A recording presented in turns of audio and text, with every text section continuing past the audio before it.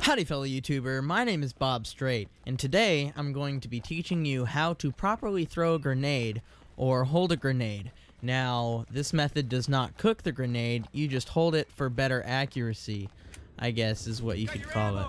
So, you, you know the standard, you just tap the grenade button and you throw it.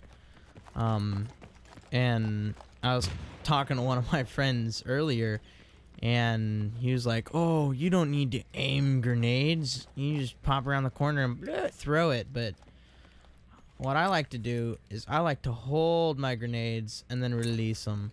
So how you do that is you have to hold your grenade button and your shoot button at the same time.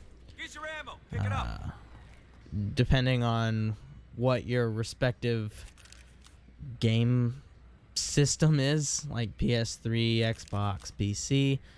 Uh, depends on what you hold. On PS3 is what I play on. It's the grenade and and or the L2 and R1 button. So, yeah. It doesn't cook it. You just hold it for better accuracy. Uh, thank you for watching. Don't forget to like and subscribe. That is all. We have been taking their whole goddamn game. We need to step it up, bruh. God! Shit! Bitch with his 18 mines? That's just been going on the whole goddamn game. Loser!